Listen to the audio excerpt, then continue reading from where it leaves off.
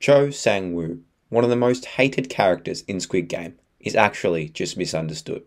In this video, I'll go over not only how Sang-woo is actually a good person, What? but that he knew exactly what Squid Game was the whole time.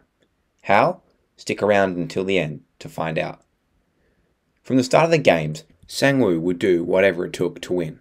To understand this, we have to go back to the beginning of Sang-woo's life. Both Sang-woo and Gi-hun grew up with single mothers in a working class society, where children were expected to move on to blue collar work after high school. Unlike Gi-hun, who perfectly fits this stereotype, Sang-woo was different, graduating first in his business class at Seoul University, the Harvard of South Korea. He was the golden child of Ssangmun-dong. This, of course, leads to Sang-woo's mother hyping him up big time, even saying to one of her customers that Sang-woo was too good for other women.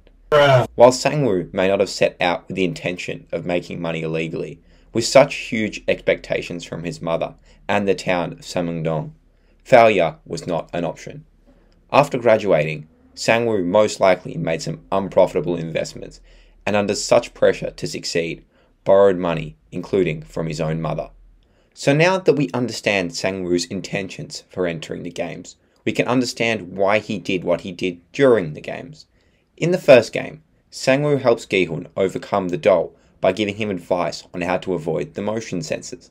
Now, I don't believe this was out of much kindness towards Gi-hun, but rather that Sang-woo knew he would need allies to get through the first few games. Sang-woo always remained the most logical and practical person throughout the games, and knowing that he would eventually need to kill his friends in the end, he remained distant from them. He did what was necessary to win, including exploiting the trust of Ali during the marble game. Sang-woo couldn't completely shed his humanity, however, and you can clearly see the pain in his eyes as the shot was fired. It can be easy to forget that Gi-hun did the exact same thing to Oh Eun-nam, with the only difference being that luckily for him, his partner gave up. During the fifth game, Sang-woo pushes player 17 through the glass, and while this may seem like a psychotic move, it was again necessary to survive.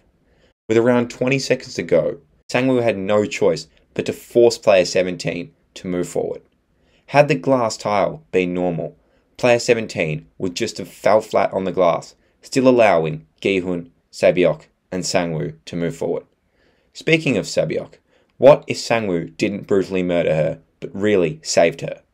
At the end of game 5, Sabyok was impaled by a large piece of glass.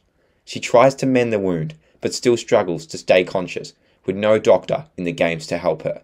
Though Gi-hun couldn't admit it, Sabyok was going to die, whether it was in the final game or in her bed.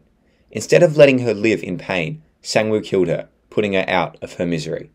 Looking at Sang-woo's expression, it is clear he was tormented by this decision. It is also important to remember that Sang-woo saved his friends on several other occasions, defending his group during the fight and saving his team in the tug of war. Gi-hun would never have made it through almost every game, let alone won, if it wasn't for Sang-woo. So why, after all this trouble to win the games, did Sang-woo take his own life?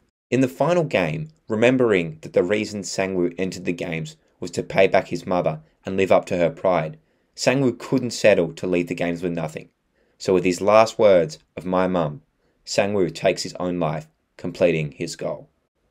In the end, Sang-woo was one of the most practical and probably the most well-written character in Squid Game. While I'm not saying Sang-woo did everything for the reasons I explained, it is clear that there is good in him and that he's just a scarred man who was put in a bad situation. Then again, he could just be an absolute snake. What do I know? That concludes my analysis on Sang-woo. Feel free to leave a comment on what you thought of Sang-woo as a character down below. Otherwise, I hope you enjoyed watching, and I'll see you in the next video.